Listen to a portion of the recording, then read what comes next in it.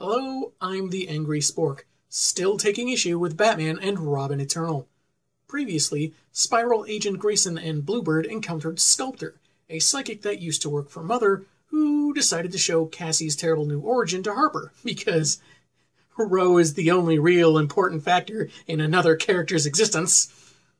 Sculptor then showed Grayson how Batman not only agreed to let Mother mold for him a better Robin, but that he would kill the child's parents himself to prove his loyalty. When the woman vanishes because she just can't help them anymore, due to ambiguity, I suppose, we glimpse the nursery housing Mother's latest generation of children, all dead, and then we glimpse a blood covered Cassandra Cain. Issue 13's cover features Cassie with bat shaped blood on her face because blood is just so edgy and cool.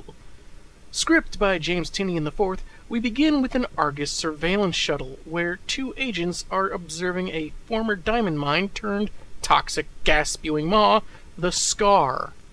Hmm. A place that was once the source for something people would find valuable now turned into something sickeningly terrible.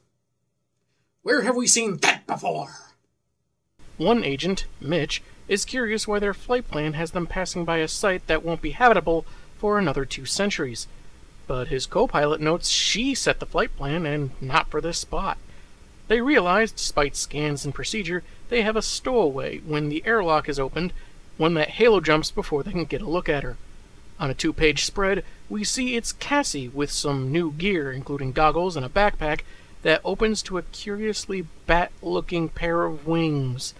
I'd ask where and when she got that, but this is an eternal story, so why bother? Just like they'll never clarify how she survived going into an allegedly toxic environment. Is it really poisonous or an illusion?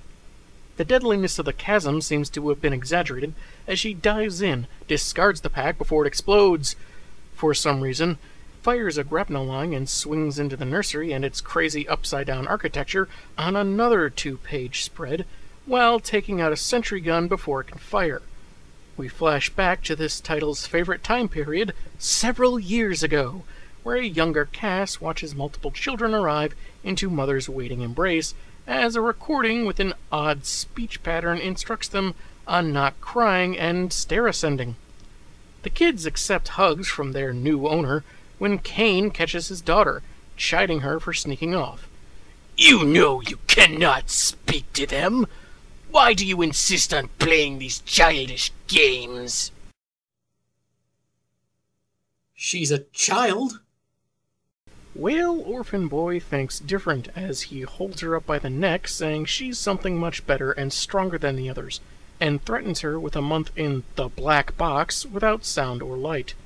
As present Cassie fills with a fuse box and continues her trek, she recalls another time when she watched the children, this time led by hovering drones, the source of the separated syllables, and is caught again, this time by Sculptor. She says they've just recently started teaching her language, which has proven delicate, and Cain wouldn't like her interacting with other children, though the woman promises not to put her in the aforementioned black box or let her dad know. Okay, so they made the point previously that she was not taught to speak, so that would better hone her fighting skills. Yet now they're saying they were trying to teach her language. what does that mean? What language? Were they teaching her to read, to write? Or or is this just some vague reversal trying to glaze over a screw up on the part of the writers? Cass was curious about two kids hugging, and Sculptor says it's a sign of caring for one another, which Cassie mimics almost immediately. The psychic pushes her off, saying she should never do that again, as it's not what she was meant to be. Well, she also wasn't meant to be pointlessly rebooted under an idiot's mandate by a guy clearly more interested in showing off another character, but without all that pesky development. Yet here we are. Presently, a drone notices Cassandra, but she quickly attacks it on another two page spread. Huh. Well, she activates helpful mode, and I guess those wires weren't important because it becomes, well, helpful. Cass gradually manages to ask where the children are, meaning her verbal repertoire is no longer limited to the title of a human trafficker.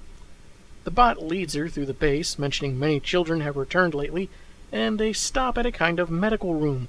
For its trouble, the machine is bifurcated by Orphan, who has a shiny new robot hand, as he restrains his daughter to a chair, guessing she sought redemption by freeing the other kids. A circular trap door of sorts is opened, and Cassie is released, sliding down into a pit full of dead children. First, it seemed like a waste of panels to have Cassie manacled to a chair, only to be let go a couple seconds later. Orphan already managed to grab her. Seems like he could have just held tight, opened the door, and her in. Secondly, how do I put this? Tynion, what is wrong with you? What is your fixation on dead kids? I mean, the previous David Cain wasn't exactly a saint, but this. This is just gratuitous dreck. Yeah, moving on. Cass seems to try slowing her descent by grabbing the wall, but leaves a trail of blood. So either that made her fingers bleed, or that blood was already on the walls from, you know, the dead kids. Either way, she's horrified. On another two page spread, David insists he's not a cruel monster, he just really believes in the process of the woman that took him off the streets of Shanghai. As the girl grapnels out and darts into hiding, Cain goes on that she was intended to be proof that humans can be perfected. But since she ran off, it's all led to Cain having to exterminate every child.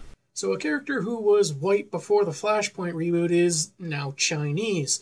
However you feel about something like that, it begs a question.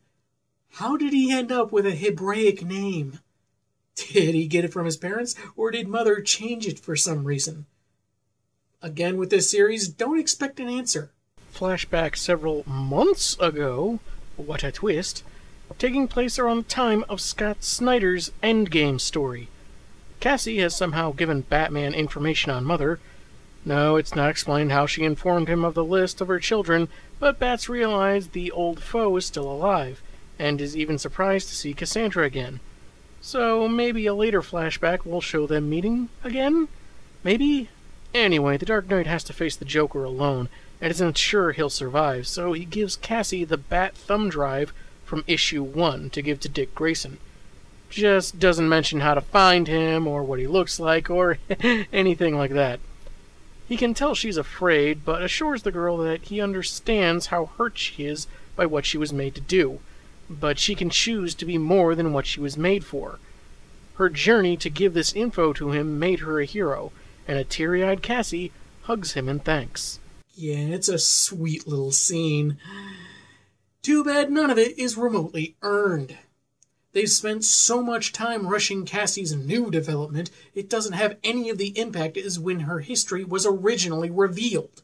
They want to try and call you back from the original stuff, but they want to try and do their own thing and try and mesh all together, but it doesn't work. Sometimes you cannot have it both ways, no matter how hard you try. As Cass draws a bat on her face in blood, Cain mentions that soon she and Batman's other allies will be as dead as he is. I guess he missed the part of the series where Bruce is still alive. Or does he plan on giving them all amnesia to be symbolically dead while cops in mech suits take over their roles? Doesn't matter because on another two page spread, yeah, this is overdoing it, people. Cassie gets a surprise attack in until Grayson and Bluebird taser him into submission. Cass hugs Harper because she's been rebooted as having zero standards and friends when Mother's head holographically appears. I am Mother, the great and powerful. Pay no attention to the convoluted story behind the curtain. She'd have liked Jason and Tim to be present, but she'll have to do with killing those within the nursery right now. She tells David that he did a good job and that she's proud of him, even the ones opposing her, pitying them rather than hating them, but can't afford weakness in her endeavors. Funny, she didn't seem too thrilled with Orphan's offspring, but whatever. She tells them of a thermonuclear device set to destroy the entire complex before signing off. I think we can all guess just how James Tynion IV would want this to be resolved.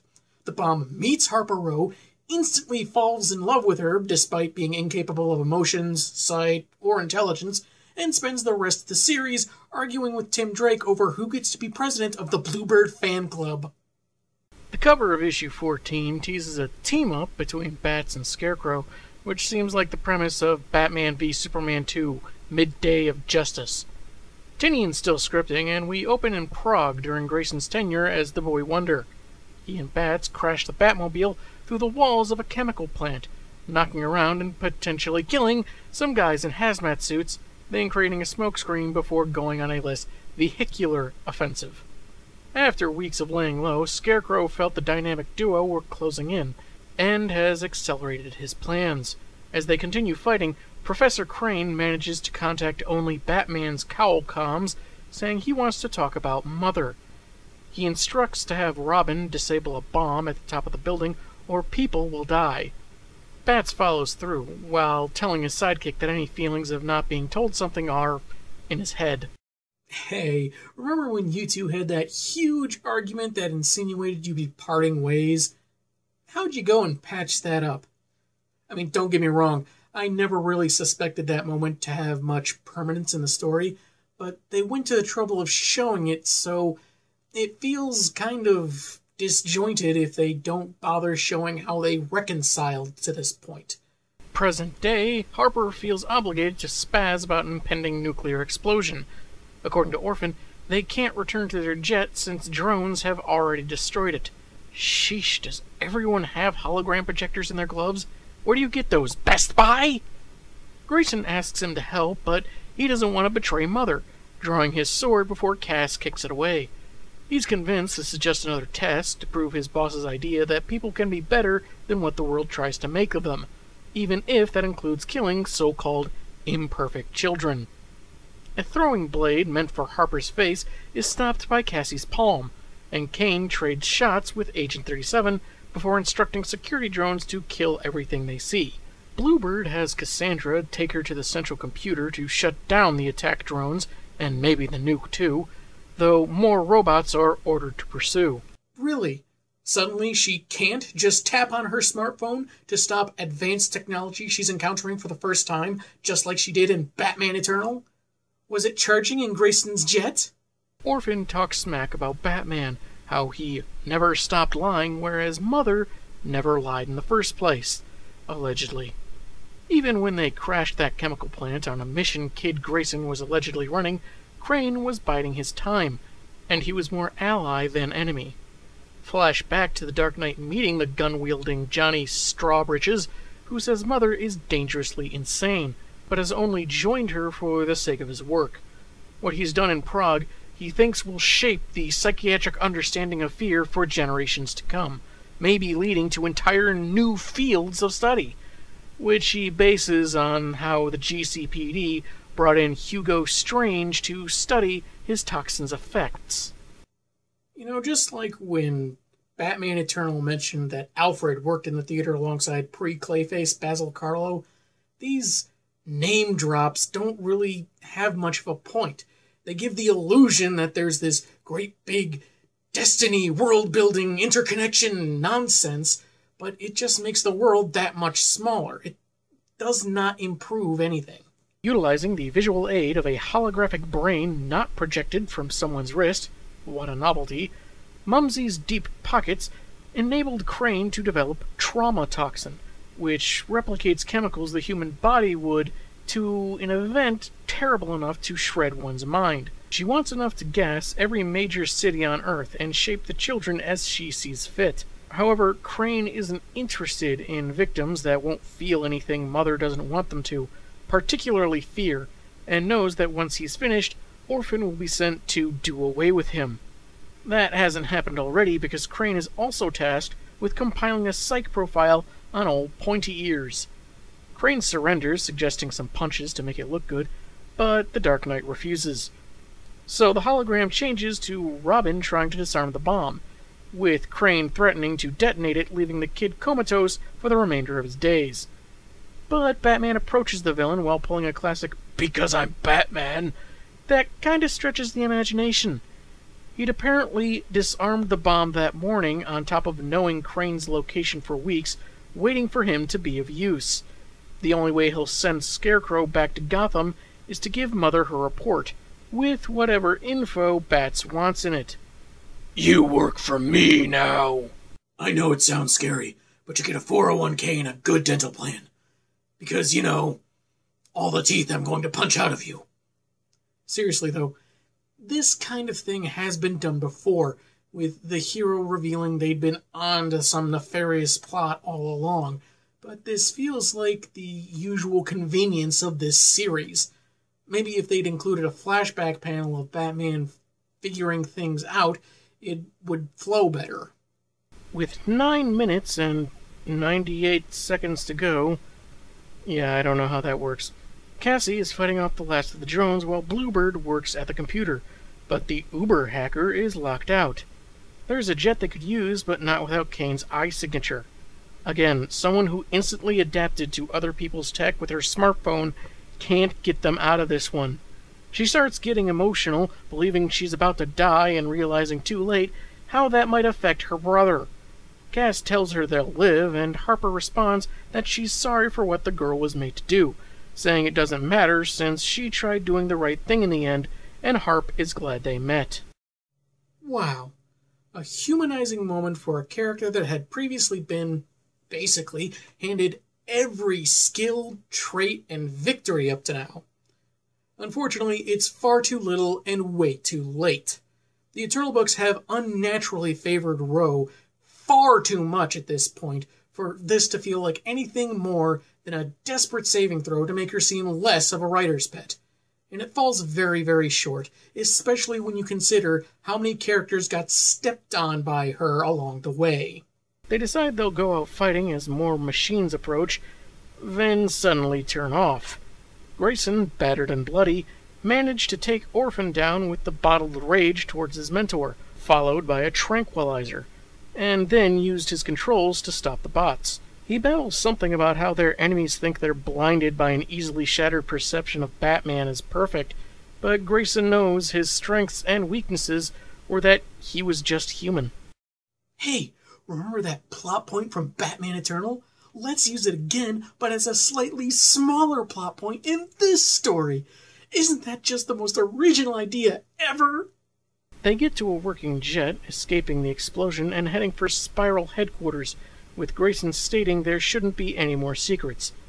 And note the distressed look on Cassandra's face. You have every right to be afraid, Cassandra. Your awful reinvention isn't over. There is plenty more idiocy on the way. Issue number 15. Uh, hey, are Azrael and Red Robin fighting or messing up an overly complex cheer routine?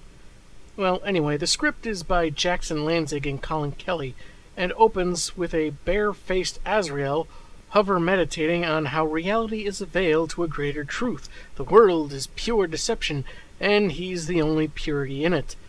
So he's like Harper Row, but more subtle? Anyway, he starts fighting holograms of Red Rob and Red Hood, who had defeated him in Santa Prisca, and tried to deceive him. A dramatic voice, however, tells him his penance is not yet over. As Jean Paul opens a book to some glowing smoke and symbols rising out, he notes his opponents and their stolen technology are a mile out, heading toward the city of Gnosis, their most holy site. Donning his helmet, Az heads for a rematch that may yet redeem him. The writers on these books have shown they're not very good at character building. So when it comes to their idea of redemption, let's just say I haven't much faith. Tim has traversed the desert, dragging along Red Hood, whom he claims to have incapacitated. Yeah, I believe him. Jason is really, really annoying. Apparently, the retconned prodigy's mind was opened by the wrath of God, thanks to Azrael, and wants to join the Order of Saint Dumas, giving Jason Todd as tribute. Really? Him? Just about anything would have made a better tribute, like a picnic basket full of expired cat food or a moldy sponge. Though wanting to attack, Az is instructed by the ominous voice to accept Drake's offer, as all who seek knowledge are welcome. Taken inside, Hood is waking up, so the monks use their fancy ornaments to relieve him of his gear, drop him in a hole, and shuts the metal door behind him. He counts down from 856, opens his ever changing mask, and coughs up a tiny bat shaped item, while Tim gets the grand tour. Jean Paul says they're all scientists, seeking to prove and learn in their pursuit of the secret god. Oh, and they have a hawking pool, which I guess is impressive. The Order also don't see a point in procreating, seeing it as a flaw in biology that can result in knowledge being lost, and they can double or triple someone's lifespan. While Hood uses the tool to somehow bust open the doors to escape, and suddenly that hole doesn't seem as deep before, he. Wait, wait what? How did that happen? I mean, it couldn't have been a bomb because the shock wave powerful enough to blast open those doors would have killed Jason. Though, on the other hand, I have no problem with that conceptually. Anyway, so so, so how? Was it magnets? Double R is taken to meet their leader, power source, and guy who's aged really well for someone who was allegedly in the Crusades, Saint Dumas. While showing off how much he knows about the Bat allies, he considers Tim the only true partner to Batman, and wants the teenager to become his new angel, which kind of irks the guy currently in that role. Tim isn't really interested though, but Wires McGillicuddy basically says, You'll be what I want you to be and like it. He isn't the first Dumas and hopes to be the last, and that Jean Paul Valley's defeat has made him unworthy of being an unbeatable warrior. And in so many words, he's basically calling for a death match. Okay, I can't stop asking questions of a book I know will never give answers. When he says he's not the first Dumas, is he saying there have been others since the Crusades, or there were others from before? Years ago in Prague, Scarecrow is playing on the ledge of Mother's balcony, probably after she told him repeatedly not to, regaling her with the first profile he ever did for the Gotham police on Batman. While his peers wrote him off as nuttier than an all you can eat buffet for squirrels, Crane saw a man fighting his own terror and spreading his nightmare to others. Someone whose only fear was fear. Way to take FDR's speech so literally, Bruce. The profile is evolving, however, and Scarecrow sees a man that lost something. Despite efforts towards fearlessness, he's become afraid of losing Robin, Gotham, and fearful of Mother, whom the unstable Bat will eventually seek out. As Crane leaves, Orphan voices his distrust, given that the Ichthys formula from Dumas is almost ready, with which they'll have no further need for either Batman or Scarecrow. Mother silences him, giving the order to take Crane to Cairo as she invites Wayne and prepares the child. In the Prague cave, Batman silently responds as Robin does some acrobatics training, referencing their fight from a few issues earlier, and saying he didn't care for how it ended. Batman says Crane's landed in Cairo, so they're getting the heck out of Prague. Oh, so that's the reconciliation. Leaving Prague to fight the Scarecrow in Egypt because earlier it felt like the fight was more of an afterthought. Okay, moving on. In the present, Hood battles monks and Tim takes on Azrael, while both count down, this time in the double digits. Jason asks about Ichthys, and one monk reveals it's a programming algorithm for the brain, giving experience and direction. Then he bursts into flames. Cheery! When the Red's countdown ends, an electromagnetic pulse cripples the Order's facility, while Tim uses a capsule that traps Azrael in a quick hardening substance, and tries to convince him he was another subject of Mother's process, only for Dumas to confess he's kept that memory from Jean Paul. You know, for a secret order, they sure do give up information left and right. Tim notes their mind tricks won't work on him, Maybe he's part Hutt or Toydarian. When a disappointed Dumas uses his techno magic to knock the vigilante around from a distance, then redirects a stun gun back at him with the same power, and then suspends Drake in the air. Wait, why didn't you lead with that? With the stationary Azrael within earshot, Dumas further confesses his dealings with Mother, which led to the angel's creation, that he's had to use the ominous voice from earlier to correct him ever since his defeat in Santa Prisca, intending to kill them both. As for Red Hood, who's trying to pry open a door, Dumas intends to use Ichthys to turn him into the new Azrael.